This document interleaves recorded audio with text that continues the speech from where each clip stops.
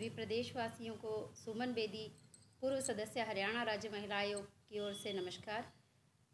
मैं अपनी party, Congress party की तरफ़ से और हमारे प्रदेश के तीनों सीनियर जो नेता हैं, आदरणीय चौधरी भूपेंद्र सिंह हुड्डा जी, प्रदेश अध्यक्ष चौधरी उदय भान जी और राज्यसभा सांसद भाई दीपेंद्र हुड्डा जी की ओर से और समस्त कांग्रेस की तरफ़ से प्रदेशवासियों को और विशेष तौर से मेरे नरवाणा वासियों को दीपावली की हार्दिक शुभकामनाएँ देती हूँ।